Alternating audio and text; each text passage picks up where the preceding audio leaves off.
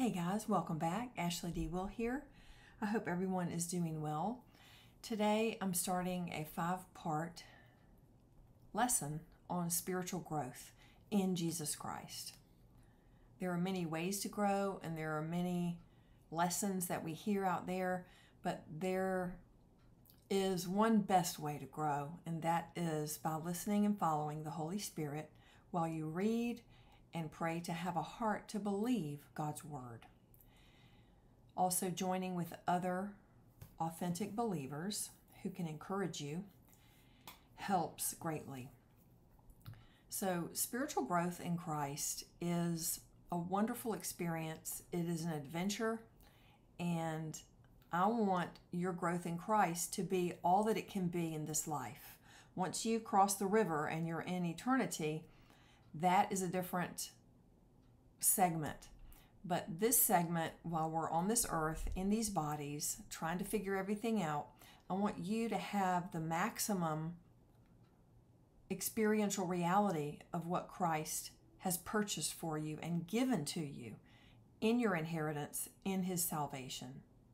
So let's look at this illustration. A little bit busy, but I think we can get through it. So over here to the left, we have a dark gray triangle and it is moving from massive because it keeps going all the way back and it's coming in here to be smaller and smaller. So it's coming to a point. And so this is sin, this dark area here. Sin is very real. It has power. It is extremely deceptive and it can cause a lot of major problems in your life, in your heart, in your relationships, blockages between you and the Lord. And so, this is why Christ died for us and why he rose again. Because human beings weren't originally designed to deal with sin. That's the problem, is that it's not in our design and in our purpose for being here to deal with sin. But because Christ came and died for us and rose again, and He lives every moment to intercede for us, that is how we can navigate through this life, moving from sin to other better places. But we all start out here, born in sin. Sin is dark, it's very dark sin comes alive and animates itself through the law. Sin is all about lies, believing lies, and the more lies that we believe, the more tangled up we get. Sin is also slavery. We don't realize it when we're in sin but we really do have chains binding us. And we don't know any better because that's how it's always been for us. We were born that way, so we think it's normal. So that is a little bit about sin. Here we are over here in this dark, shadowy place. Jesus said in John 8 24, If you do not believe that I am He, you will indeed die in your sins. So we staying here will die in our sins, right? In this dark, dark place. And the only way that we can get out of this dark place is just as Jesus said if we believe that I am He. When we believe, believe in, trust in, adhere to, and rely on the fact that Jesus Christ says that He is the Messiah, and we place all of our eggs in His basket and trust Him and Him alone to save us, that belief is the key that unlocks the door to the faith we need to be counted as righteous. So it all starts with believing. And in your salvation, God gives you faith. He puts a little mustard seed of faith in your heart. And if you can connect with that, you will start to believe. And the more you believe and the more you focus on it, ask, seek, and knock, pursue Him, run after Him with your whole heart in believing Him, the more you will begin to see reality. So, believing is a key word, very, very important word. Down here, next to sin, we have another quote from Jesus Christ, and we find that in John 6:29. Jesus answered some questions, and one of the questions was, "What can we do to be like you? You're doing the work of God, and we're so impressed, but what can we do to be like you, to follow you?" And Jesus answered them. And he said, The work of God is this to believe in the one he has sent. So here's that word again believe. That is a deep, powerful word, and it's all about the heart. So when you fill your heart with belief more and more, one drop at a time, over the weeks, months, and years of your life, you will grow in automatically doing the work of God. Because the work of God is to believe. So if you focus on your heart and on believing more and more, little at a time, you are doing the work of God. That is the work of God. In fact, that is such powerful work of God to believe. We know that the fruit of belief, what is the fruit of belief? It is transformation. That's how we know that this verse is very, very serious, and this one as well. Not just because it's in the scripture, that's reason enough, but when we apply it to our lives and we do what it says and we give it time and focus and energy, our lives start to bear fruit. And that fruit of belief is a transformed heart, which results in a transformed mind and a transformed life and transformed relationships and transformed perception of reality. So, this is very powerful material. The Word of God is active, it is alive, it is not just words on the page. When you eat it like food and drink it like water and breathe it like air, you are causing supernatural transformation to happen within you. You may not see it, because it happens slowly over time, but those around you take note. They definitely notice. They see you more objectively than you do, and they can tell. So be encouraged that the Holy Spirit is working in you. Another point we want to look at is this circle here. It's a cycle of going around and around, and it's repeating the same things and never really getting anywhere. It's kind of wasted effort because it doesn't bear any good fruit. So it's easy to get caught in these cycles and circles of defeat and circles of repeated actions that bear no fruit. And so I want to help you with that because I want to let you know that your enemy, Satan, is very real he is an extremely clever evil genius. And he is the one who will lead you and drive you into these cycles that are a waste of time. Up here it says, Your enemy Satan wants you wasting your life, your space, your time, your energy, trying to rid yourself of your own sins. Why would he do that? He's so clever and such a genius. Why would he do that? Well, he's a genius because he wants you wasting your time there doing something that is completely redundant. Why? Because Christ has already removed your sins for you. And he doesn't want you to know that. See, if he can keep you from this truth that Christ has already removed your sins for you, he can block this out, then he can keep you in this cycle of going around and around and around and falling in this pit and never able to get out because when we do this, we're ignorant of what Christ has done for us. And a lot of times we just get dizzy going around and around and we're really not getting anywhere. So it's like a big truck that is trying to get out of a ditch, but the ditch is all muddy. And the more the truck tries to get out, the wheel spins faster and faster, and mud is slinging everywhere. And the truck is actually digging his back tires deeper down into the mud.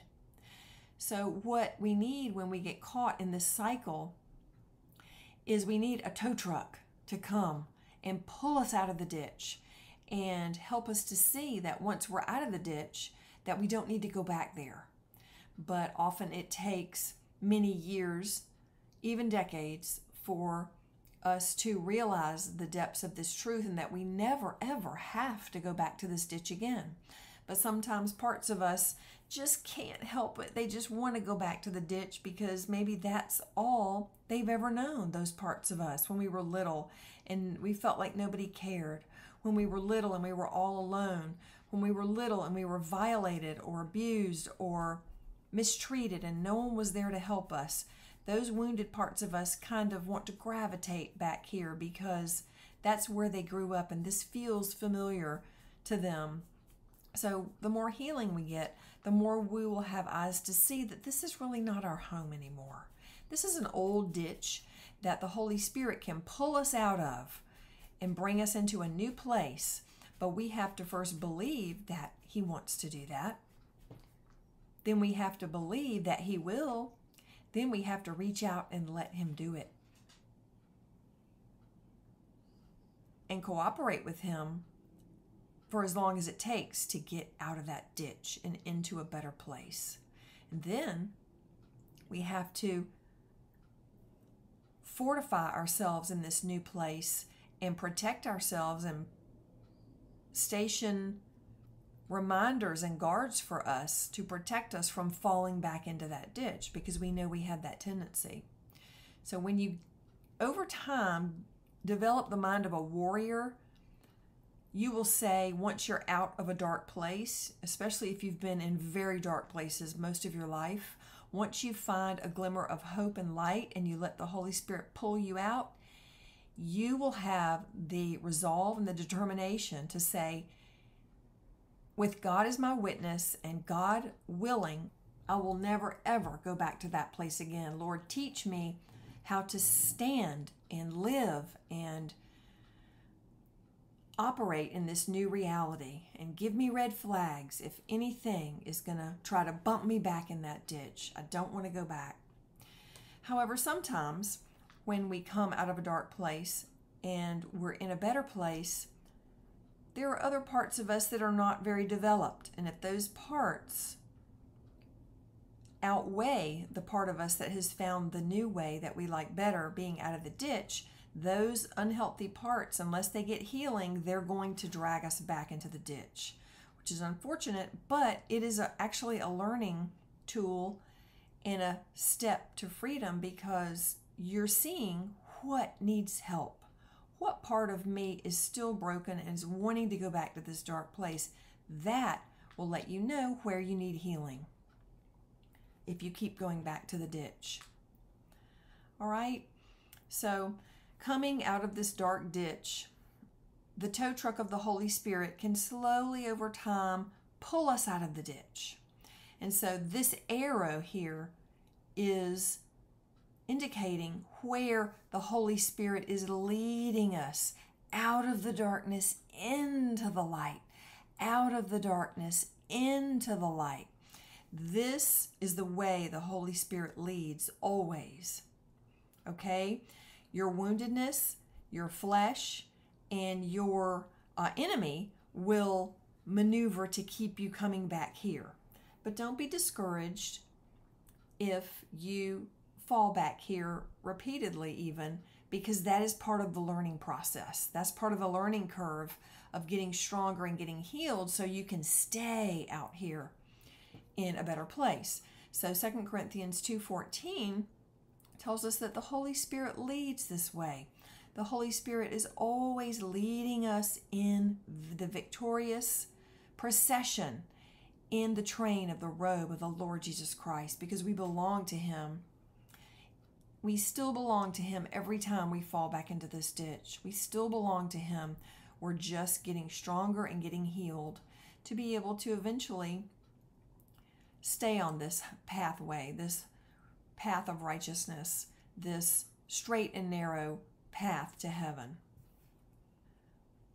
So down here, we have the cross, the cross of Jesus Christ, the only Son of God, and we have come from this dark place, spinning around and around in the ditch, and we've moved slowly from this place of sin, of darkness, of the law, heavy over our heads and a dark shadow over us with shame and guilt and condemnation and the fear of death, surrounded by lies, souls packed with lies, slavery. We can't get out of our chains. So that is here in the dark. We come slowly as the Holy Spirit's leading us to just believe the Lord, one little mustard seed of faith. He leads us to believe. And slowly we come to the cross, the cross of Jesus Christ. This is a different kingdom than this kingdom. This kingdom over here is the kingdom of darkness, and it is dark and heavy and miserable and full of self and pride and I'm going to build myself up and I'm so arrogant and I'm so full of myself and it's all about darkness and lies and hurting others and competing and trying to get ahead and fighting for everything and wounding others and being wounded by them. So we're coming out of this with this mustard seed of faith that God has planted in our heart for us to believe Him and what He's done at Calvary. So the moment we believe, we have been transferred from this dark kingdom into this kingdom of light, which is very different. It's so different that at first we find it overwhelming. We're very uncomfortable. We can't believe that anyone would love us or want to bless us. So it can be very strange and uncomfortable. But this is the kingdom of light. And the longer you're in this kingdom, the longer your eyes adjust to the light and the more your soul falls in love with the light and the more light you want to penetrate your soul. You can't help it. Even if it's going to be uncomfortable or painful, you love the light so much that that doesn't even matter to you anymore. You just want light to fill up your soul. This kingdom of light is filled everywhere with the grace of the Lord Jesus Christ. Jesus Christ is the grace of God. He's the gift of God to humanity. And so that is His grace, and it manifests in so many wonderful, surprising ways. This kingdom is also the kingdom of truth. Jesus Christ said, I am the truth in John 14, 6. So he is all about truth. Freedom is another thing that you will discover in this kingdom of light. It won't manifest really at first, but you will slowly experience it over time as you continue to work by believing and make your way with the help of the Holy Spirit out of this ditch here. You may have been here for 20 or 30 or 50 years and then you come out for just a minute and you fall back in. And you come out again and you fall back in. And you come out again and you stay a little longer and then you fall back in. And then you make your way out again. You stay a little bit longer and you fall back in. So after time, you will fall back in, stay out maybe a long time, and then fall back in briefly, and then stay out a longer time, and then fall back just for a minute. So you're always making this progress.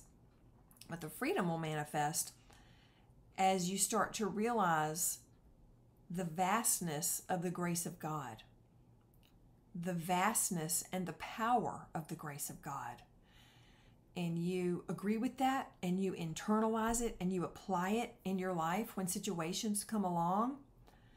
So freedom comes slowly and it comes one little finger at a time, one little toe at a time, one little movement more than you had before at a time.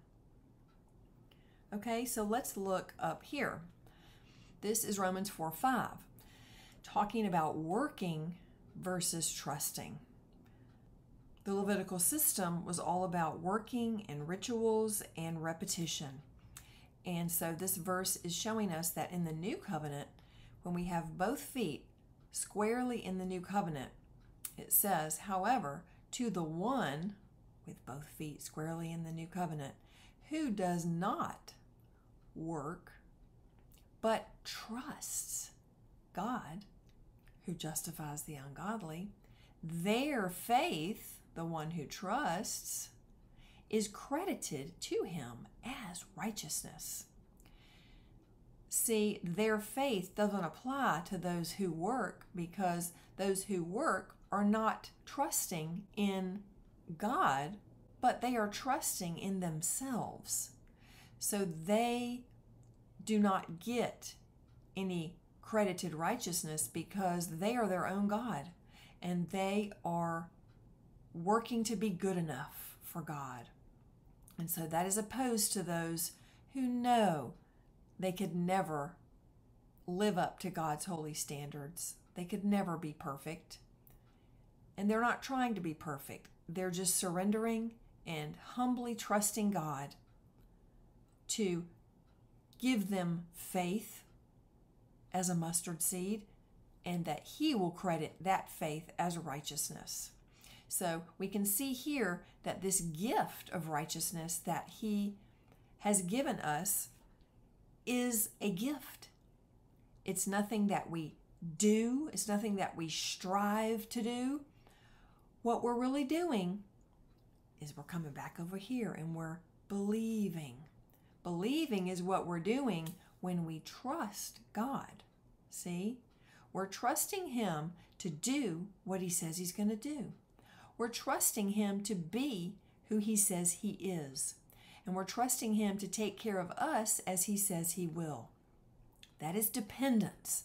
That is humility. That is trust. And God loves it when believers trust Him. So we can see from this verse, Romans 4 5, that exercising the faith that God has given you equals righteousness. Righteousness. So we have to understand that over here, when we were in the dark, the Lord planted a little seed of faith in us, a little mustard seed of faith to believe. That belief and that little seed is like a muscle, a teeny little muscle that is an infant and it's never been exercised. But if we can focus on it and exercise it and grow it stronger and stronger, that is how we exercise our faith. We can say, Lord, help me with my faith. My faith may be weak. My faith may be have atrophied, or maybe it's never even been developed. Wherever you are in your faith, it's okay because all you have to do is say, Holy Spirit, teach me how to exercise my faith. A lot of the exercising of faith can be blocked by a spirit of fear or through different traumas we've we've been through as children and you can ask the Holy Spirit to help you with that, show you what's going on and you can go back and clean that up. He can do it with you and for you, but all the things that are blocking this you want removed, is the point. So you're going to exercise that faith, and that little mustard seed of faith will grow to a little bit bigger, a little bit bigger, and it will maybe look kind of like the size of an acorn. And then it can grow bigger and bigger, and it can be a little shoot out of the ground of a little baby tree that's growing. And over time, that little tree will grow and will get strengthened and be nourished, and it will result in a huge oak tree of righteousness. So, this is not anything to stress out about. It is nothing to freak out about. It's nothing to be afraid of or to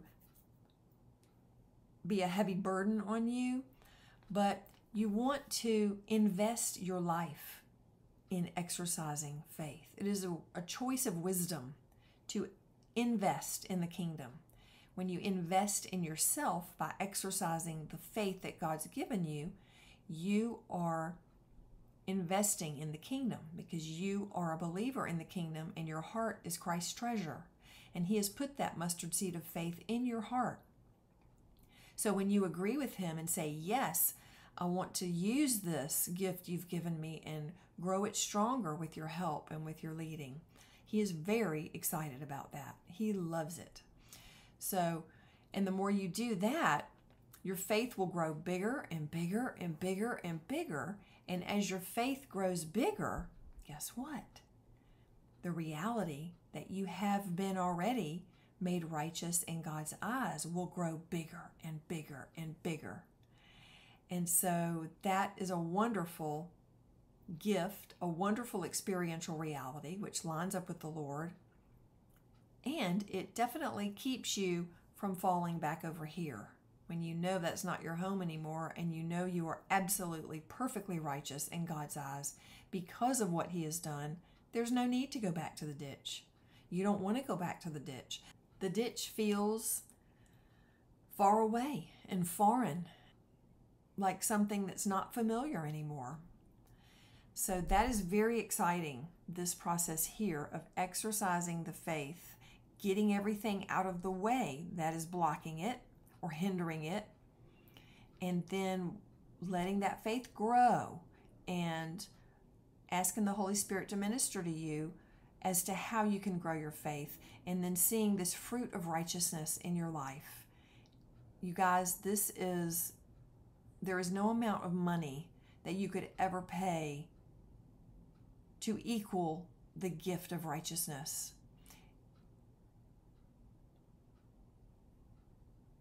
This is priceless. It is just unspeakable. It's unspeakable. And I pray that you would seek the Lord in his righteousness above everything else in your entire life. Everything.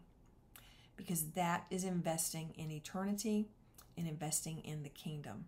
And you will reap what you sow in that, which is a wonderful thing. And so that is my prayer for you, Matthew 6:33. So let's look over here at this cross.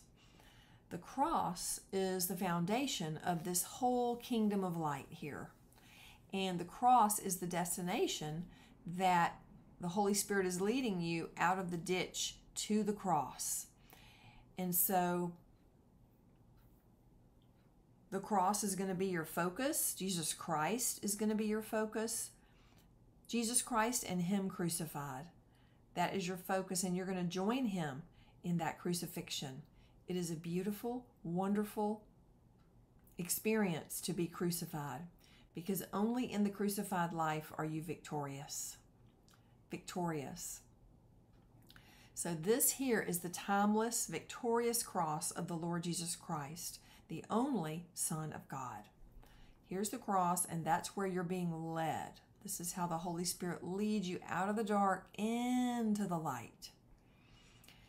When you first approach the cross, the cross is really here too, and that's how you get out. But I have this arrow here just to indicate that He's leading away from the darkness. And so when you approach the cross, it may look dark and shadowy on this side of it. There may be dark shadows still. But once you penetrate the cross through being united with Christ in his crucifixion, you can emerge from the backside of the cross out here where there is the glory. And we're going to get to that um, by the fifth slide that we go over. So Hebrews 9:14 talks about the blood of Christ and how powerful that is. Let's read it. How much more then will the blood of Christ who through the eternal Spirit offered himself unblemished to God, cleanse our consciences from acts that lead to death, so that we may serve the living God. So, this verse is contrasting Jesus Christ and his perfect eternal sacrifice through his blood with the bulls and goats and calves that they used to sacrifice under the old covenant because the Lord did not enter through the blood of goats and calves and bulls, but he entered the Holy of Holies once for all by his own blood. And through that, he obtained eternal redemption for us. When they would slay the goats and the bulls, and the ashes of the heifer were sprinkled on those who were ceremonially unclean, it sanctified them temporarily, but only on the outside. It was a temporary covering. It could never reach in to cleanse the heart, to cleanse the conscience. It was an, a repeated outward cleansing and there is no comparison between that and the blood of Jesus. So this verse is saying that those sacrifices were temporary, they were merely an atonement, and they were only on the outside. They were an exterior cleaning, an outward cleaning. Contrasting with that, the blood of Christ is eternal. It is perfect.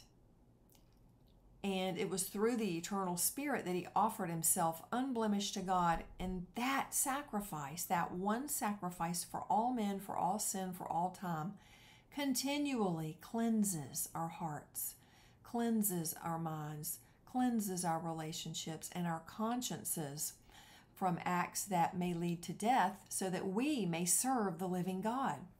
So it's showing us that no matter what's going on in your life, the power of this blood here, contrasted with the animal blood, this is eternal.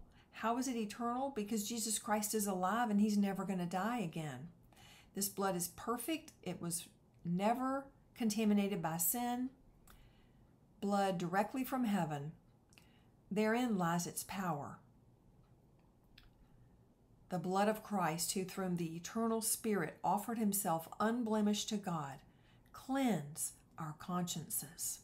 So, this is how you can have a continual cleansing of your conscience, of your body, of your heart, of everything through this blood, the power of this blood. It is still alive, it never dies. The blood of Christ never dies, it can't die, it's eternal, and it is perfect. That means there was never any contamination of any type.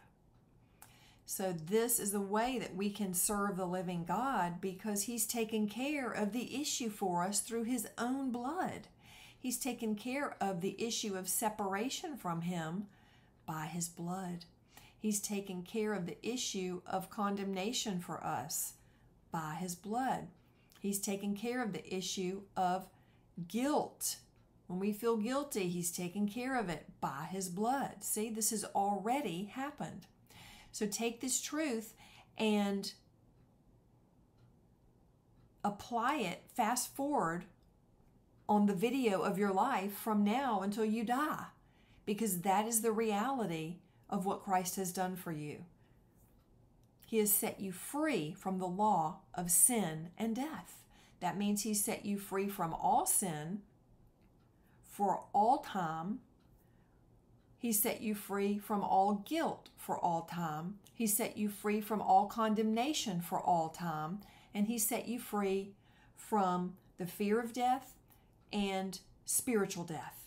Although your body will die, you will drop it like a garment when you are taken to heaven. You will get a brand new body in heaven.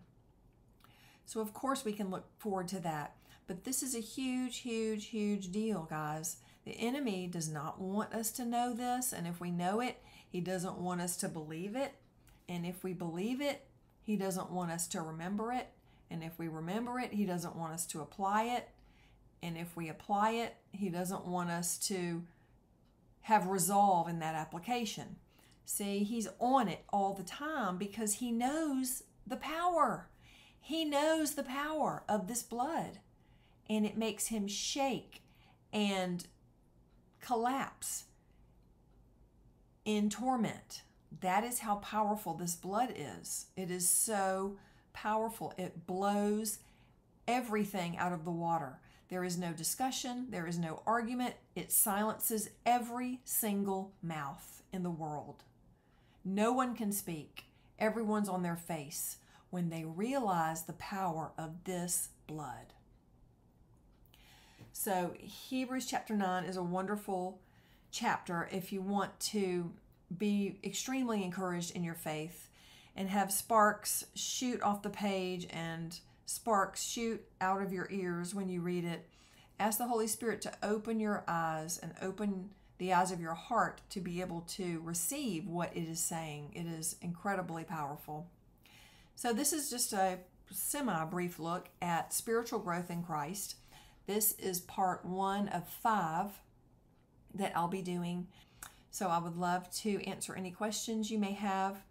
I pray that this has ministered to your heart and has given you a one more ray of light to take one baby step closer to the Lord and that your heart has grown to believe one baby step deeper in the Lord and what He has done for you.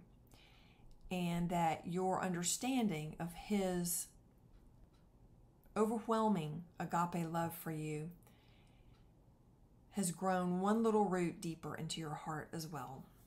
Okay, so you guys have a blessed day, and I'll see you next time.